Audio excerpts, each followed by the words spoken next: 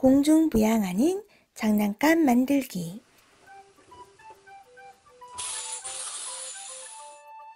이번 시간에는 간단한 재료를 사용하여 움직이는 장난감을 만들어 보겠습니다. 이 장난감이 움직이는 원리는 풍선에서 나오는 공기가 CD와 지표 사이에 공기층인 에어 쿠션을 형성하여 CD를 바닥에서 떠 있도록 만드는 것입니다. 이 원리가 최초로 적용된 것은 영국에서 개발된 호버크래프트 배로서 이 배는 선체의 바닥과 수면 사이에 에어쿠션을 만들어 배를 떠 있도록 하였습니다. 이러한 호버크래프트의 원리를 적용하여 공중부양하는 움직이는 장난감을 만들어 봅시다.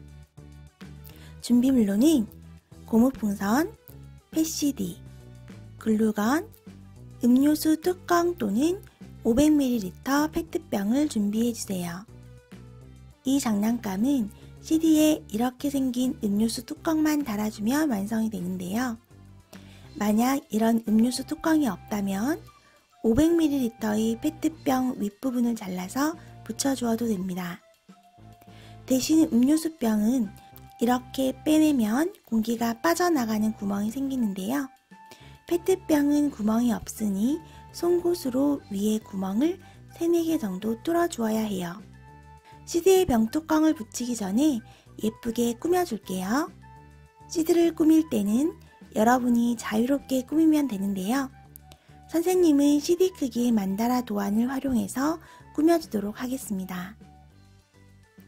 이렇게 다양한 도안이 있으니 색칠한 후 오려서 CD 위에 붙여줍니다.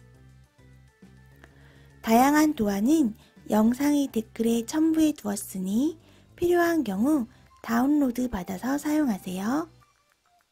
이제 병뚜껑을 글루건을 이용해서 붙여줍니다.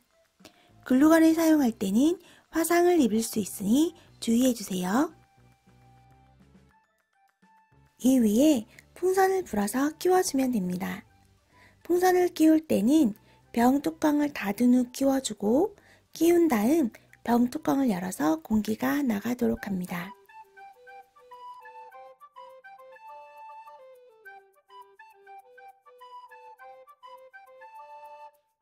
이렇게 매직을 이용해서 풍선 위에 그림을 그려줄 수도 있겠죠? 쉽고 재밌는 호버크래프트 움직이는 장난감을 만들어 보세요. 다음 시간에 또 만나요.